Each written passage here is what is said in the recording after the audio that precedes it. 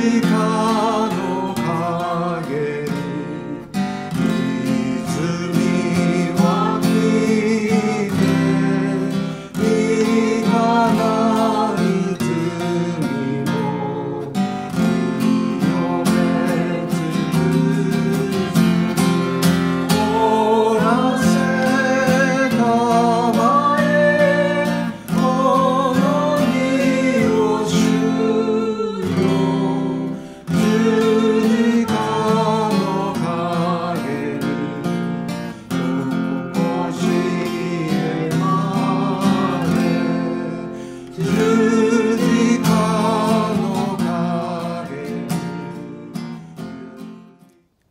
日は準備の日で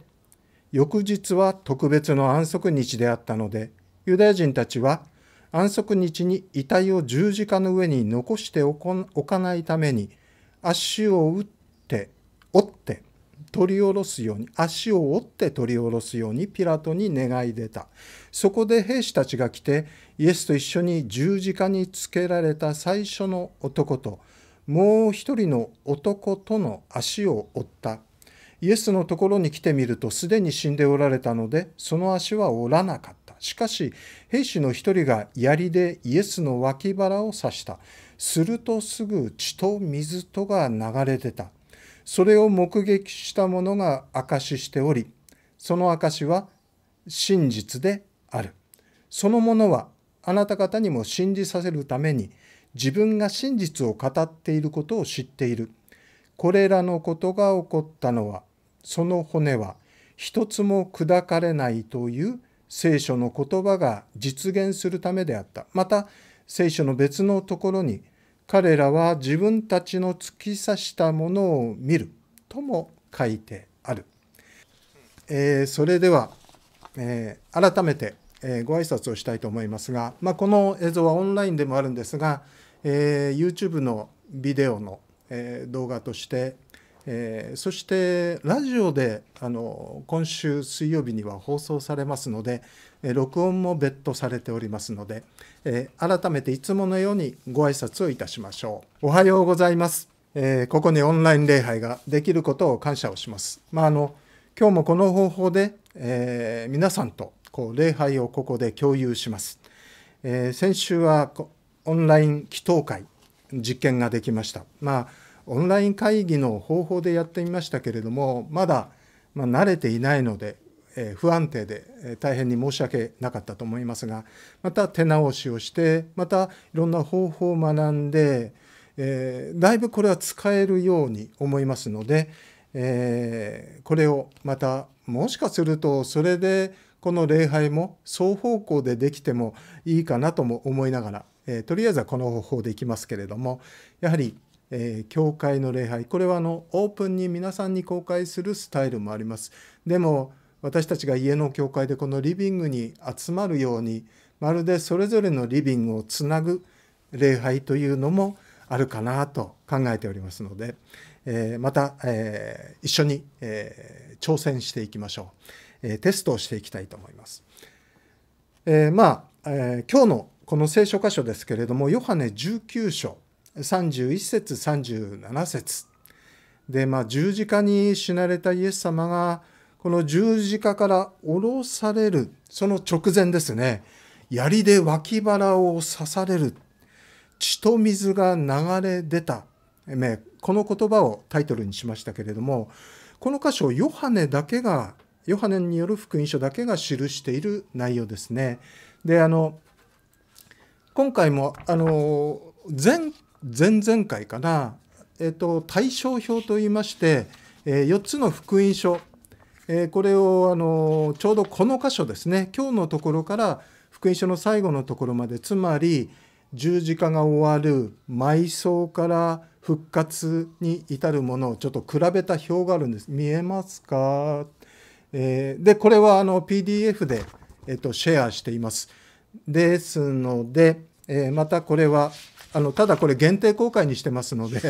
あの申し訳ないですがもし欲しい方はあのダイレクトメールで言ってくださったら、えー、リンクリンク先をお教えしますがまあそのちょうど今日は1ページ目のところです。えー、見るとこちら側は全部空白になりながらマタイマルコルカのところにはない記事としてヨハネによる福音書のこの独特の記事、えー、イエス様の脇に、えー、槍が刺されて脇腹を刺されて血と水が出たっていうところなんですけれどもね、えー、ちょっとまずはあのこの聖書の箇所をねバイブルリーディング的にちょっと追いかけて見ていきたいと思いますが、えー、どうぞ聖書のとこ目を留めてください。31節。その日ってありますけれどもね。そうイエス様が十字架にかかった。その日、えー、十字架にかけられて今まさに死なれたその日。でもその日はまあ、準備の日って書いてありますが何の準備でしょうかね、まあ、安息日の前の日でえ特にこれは杉越の祭りのこの食事をする杉越の食事という特別な時の、まあ、前の日って言いますか準備の時なんですが前の日と言いましてもこれ安息日っていうのは日曜あ金曜日のまあ安息日土曜日っていうことですが金曜日の日没から安息日が始まるんですね。ですから実はもうそのこの時間その時から数時間後には安息日になるわけです。ですから、まあの急を要するといいますかねそんなあの時なんですね、えー、準備の日で翌日は特別の安息日であったっていうふうに、えー、ここにも書いてあります。でまああの特別杉越の食事杉越の祭りっていうのはユダヤ人たちにとって大切な儀式です。で大変に儀式的である食事なんですけれどもそれは儀式的であって重要なことだって言われてますね。杯がブドウ酒の杯がこう回されてそして種入れぬパンがそして苦菜これをまた食するという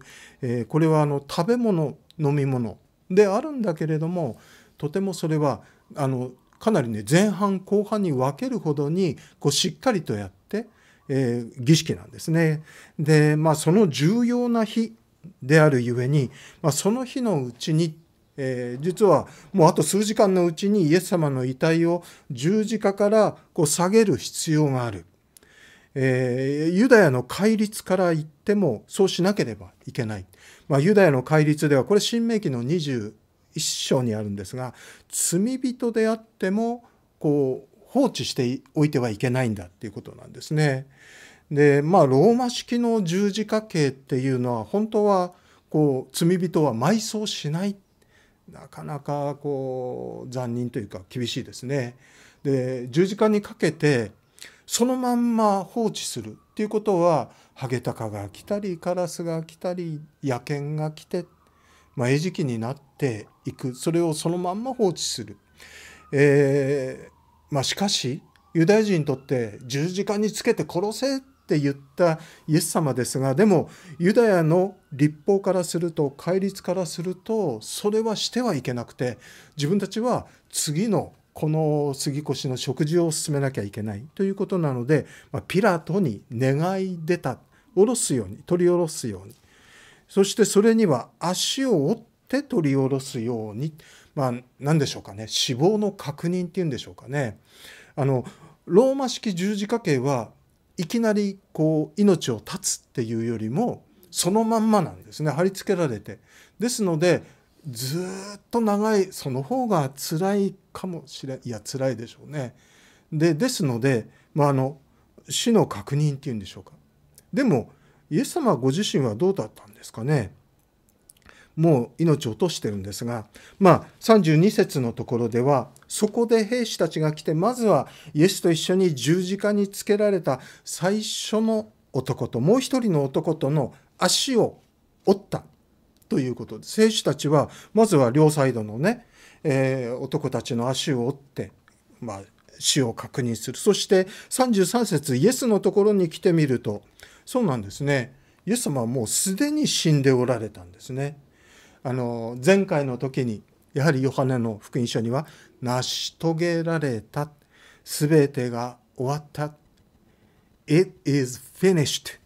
で、まあ、息を引き取られたっていうのは確かに全ての福音書にこう記されています。そしてその時には地震が起こった岩が裂けた神殿の幕が真っ二つに裂けていますから、まあ、誰もがただごとではなくてイエス様は死んだんだとまあ考えられたでしょうね。ですから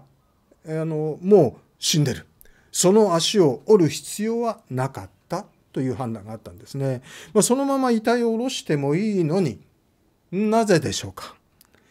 兵士の一人が槍でイエスの脇腹を刺した。これあの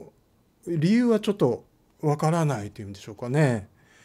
まあ、あのでもこの遺体処理遺体っていうか処刑担当の兵士たちっていうのはもういつもいつもこういうことをやってるわけでしょうね。で罪人、まあ、人間扱いというよりも自分たちのこう扱い物としてでしょうかね。えー、ですのでもしかすると殺すためっていうのではなくてつついたというかつついたじゃ済まないですね脇腹を突き刺すんですね。でまああの映画などで日本のあの昔の処刑、えー、貼り付けの刑っていうのが日本でありましたがでもあの日本の貼り付けの刑っていうのはなんか両脇から槍でこう刺してこう息を引き取らせるようにまあ見ましたけれどもね。でまあそうそういう意味ではこの兵士がしたのはちょっとそれとは違う。ちょっと意味不明なんですが。でもなぜだか分かんない。意味不明なんですが。でもこれが大変に重要な出来事でありその意味不明な行為であるんだけれどもこれが必要な印だったというのでヨハネは特別にここに記しているのでしょう。えー、33節。それを目撃した者が証ししており、その証は真実である。そのものはあなた方にも信じさせるために、自分が真実を語っていることを知っている。でこれはまあヨハネのヨハネ自身の証です。でこれには意味があるんだっていうことをヨハネ自身はまたまたさらにここに記しているわけですね。でまあ36節と37節にはこれらのことが起こったのはその骨は一つも砕かれないという聖書の言葉が実現するためであった。37節また聖書の別のところに彼らは自分の突き刺したものを見るとも書いてある。まあ、兵士の気まぐれのようなこの行為も、まあ、聖書の言葉の成就につながっています。意味が込められているんですっていうんですね。この出来事の中で亡くなられたイエスの遺体からはそしてその時です。今日のタイトルです。血と水が流れ出たのですね。まあ、人間の体、槍で刺したから、まあ、血が出た、水が出た。単純にそういうことでは済まないようです。でこれは十字架の上でどれほどにイエス様が苦しまれて死なれたかっていうことを、まあ、証明するものです。で、まあ、すでに亡くなったその遺体っていうのは心臓がもう止まっているのですからその意味ではもう血流がストップしています血の流れが止まっていますそしてまあ吹き出すほどの流れ出るほどの大量の出血があるのだろうかっていうとどうもそうではないようですね。えー、まあでもここで十字架の苦しみのゆえに何度も大声で叫んだイエス様。でこの血と水っていうのはあまりの苦しみのゆえにこう心臓がもう破裂したんだろうって言われていますね。心臓破裂でその時にもう胸に腹に血とそして水が溜まったのだろうっていうふうに解釈をされます。想像を絶しますけれどもまあそうなんでしょうね。ヨハネはそしてそれがあったことを記しています。水血と水が流れ出たんですね。あのちょこっと出たどころじゃ流れ出てるんですが、まあ、その光景を記しています。血と水、まあ、それは生きた人間の証です。人の体の60%はななんかのコマーシャルであったかな えっと水ですね。で、まあ、血流なしではこうもちろん私たち生きていけないんですね。で病院で人の体を検査する。私も何度も何度もやりましたけれどもそれはまずは血液検査から始まります、えー、血を取ってもらいまして 私は血管がなかなか出なくてあの採血がすごく難しくてね悩ませるんですけども看護師さんを。まあでも血を取ってもらってそして血液検査をして多くのことが血からこう判明します。そしてまあ言葉としても生きることとか人間がここにあるっていうこと人間存在を表す意味では血と水っていうのをこの言葉よく使われますけれども、まあ、のちょっと余談になりますけれども、えー、私が高校時代ですねもう音楽がやりたくて大好きなバンドいっぱいあったんですからその中でもあの自分の好きなバンドですねちょうどロックからこうジャズっていうものに私がこう目が開かれてくるきっかけになった目覚めたきっかけになったグループでね「Blood, Sweat and Tears」っていうのがあるんですね。血と汗と涙。これグループの名前です。ちょっとかっこよかったんですね、えー、ロックからジャズに目覚めたそのグループですけれども。まああの日本語でも血と汗と涙の結晶という言い方があります。もうとてつもなく努力をした。並外れた努力をして完成したものは血と汗と涙の結晶なんですね。もう自分の全存在をかけるそんな意味も含まれてるわけです。えー、そしてなんかつい最近は韓国のグループにグループはなんとか団あ防弾少年団これ日本語で言ってもわからないんだけど「えー、血汗涙」っていうタイトルの曲がかなり流行ったと思いますが どんな曲かちょっと分かんないんだけれどもまあでもあの注目すべきあの単語ではあると思います。でチャーチルがねあの前回もお話ししました。最後の言葉をたくさんの人が残す中でチャーチルは亡くなるその直前にはねいや結局何も達成できなかった。いやいやいっぱいたくさんのことをやったんだけれども自分の中では本当に達成できなかったような言葉を残した。えー、チャーチルですけれどもでもあの現役の時の有名な演説の演説の中に血とロークと汗涙と汗っていうやはり単語を並べてこれあの非常に有名になった。で彼があのやっぱりすごいいいリーダーシップを発揮したのはこの言葉もあったかと思います。人間の生き様とか存在そのものが血と水にあります。で人間はまあイエス様ですね。イエス様は人間として十字架で苦しみ抜かれて心臓がこう破裂してしまって死なれたという。もしまあそれですね。それは神による私たちの人間への救いのためあがいの贖いのため永遠の命のためのもの。その血と水に込められた意味っていうのは深いですね。ちょっと3つ、えー、見ていきたいと思いますけれども。まあ今言ったようにねこの血と水が流れ出たっていうことはイエス様は人間としての体を持っていてそして苦しみ抜かれて苦しみ抜かれて心臓が破裂した苦悩っていうのの全てを持って十字架に死なれたその事実の証明と言えるでしょうねそのまんま十字架でもちろん亡くなってるんだけれども脇を刺されたことによってそのことを示そうとしています。でマタイもマルコもルカもこれ記してないんですがこれはなぜだか分かりません。そんな事実がなかったというわけではないでしょうね。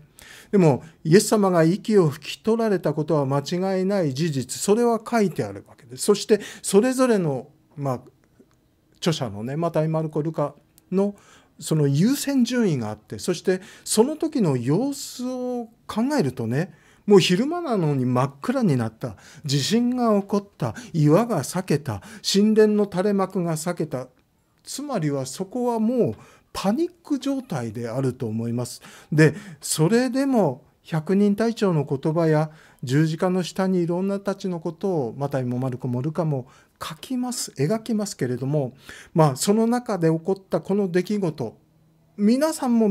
囚人も見ていたでしょ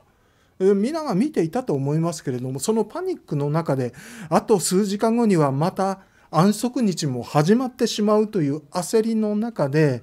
まあのピラトに願い出たユダヤ人たち兵士たちの前のそのある意味象徴的であるけれどもショックだけれどもでも静かな目立たない出来事だったのかもしれないですね。でしかしそれは確かに人間としての体を持った苦しみを経験して死なれたイエス様の証明です。でこの血と水っていうのは血と水って言いますと、まあ、クリスチャンである私たちはすぐに連想すると思います。生産式のブドウ酒、杯、そして洗礼式の水っていうものを思い出すと思いますが、まあ、プロテスタントの教会が大切にする聖霊点ですね。で洗礼式の水っていうのは罪を清める水です。水に全身を沈められ頭から水を注がれて洗礼を受けます。私たちの体もそして霊も清められることの象徴これが水です清めの象徴の水また生産式ではこの杯は私の血による新しい契約である飲むたびに私の記念としてこのように行いなさいと、まあ、私たちはこの生産式の杯をブドウ酒の杯を受け取ります。でこれはイエス様の血であります。まさに脇腹を刺されて流れ出たイエスの血潮。十字架で流されたイエス様の血潮により私たちはあがなわれました。罪が清められましたということですのでこの血と水っていうのは清めの証明とも言えると思いますがえ今日修法のところ、えー、聖書箇所の次のところに「千歳の岩よ」これ300賛美歌の260番というところなんですが、えこれをちょっと一番だけ歌ってみたいと思いますが「え千歳の岩よ」っていうのはこれイエス様のことです。でイエス様は「我が身を囲め私をこう包むイエス様ですね。裂かれし脇のここです。刺された。血潮と水に罪も汚れも洗い清めと言った歌ったこの歌ですが、まあ、この歌はねあのイギリスの賛美歌のベスト4に入ってる らしいですねちょっと賛美歌なのであんまり歌ったことないのでですが今日はちょっと歌ってみましょう。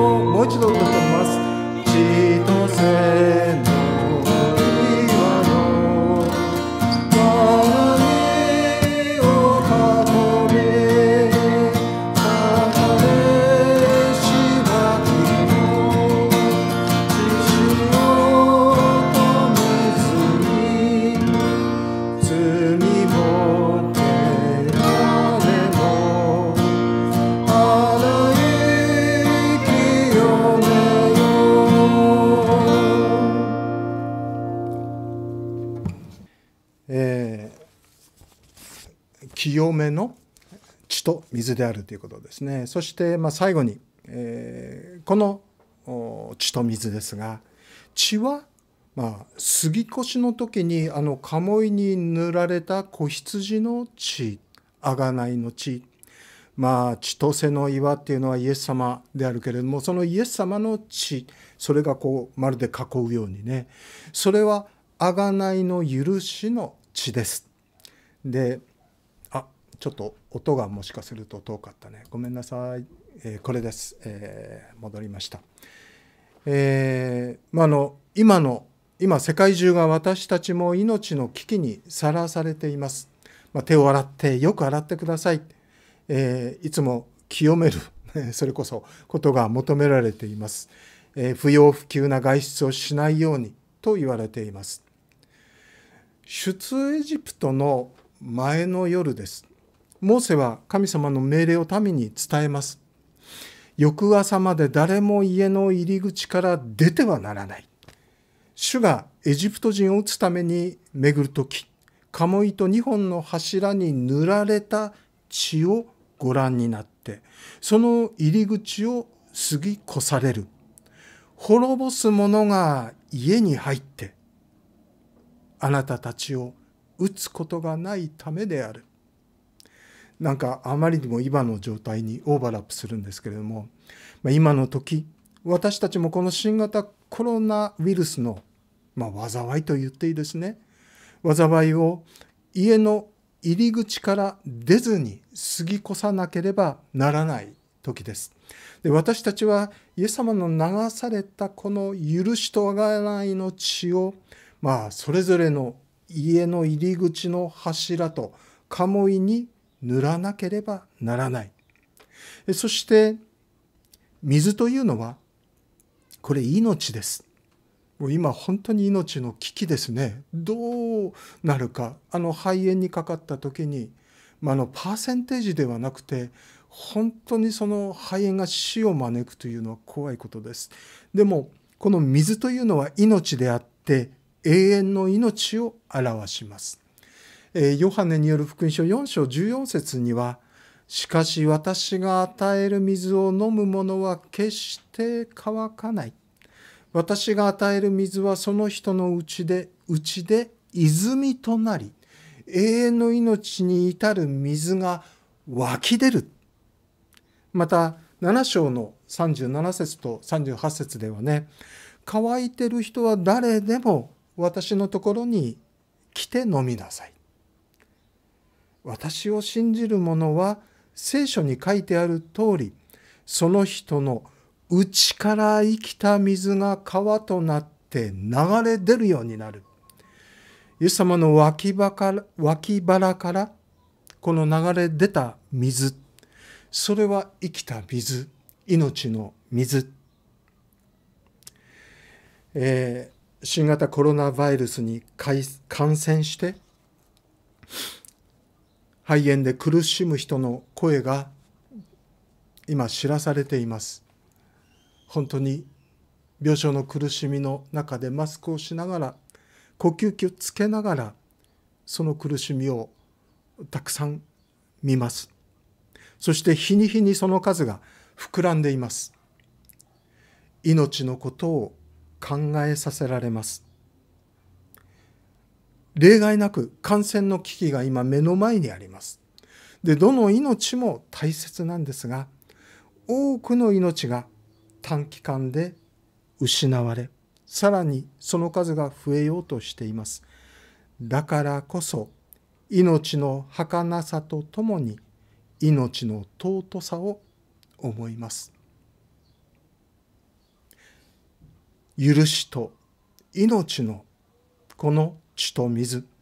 生きた水命の水を私たちは飲みます。そして今はこの